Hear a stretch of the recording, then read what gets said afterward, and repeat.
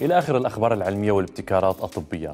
حدد علماء من جامعة فيرجينيا 14 جينا يتسبب بزيادة الوزن وثلاث جينات تمنع زيادة الوزن. ضمن دراسة تمهد الطريق لعلاج السمنة والمشاكل الصحية المتعلقة بها. وحسب إلين أورورك قائدة الدراسة يتوقع أن الجينات الجديدة التي تم اكتشافها ستسرع من تطوير العلاجات المضادة للسمنة.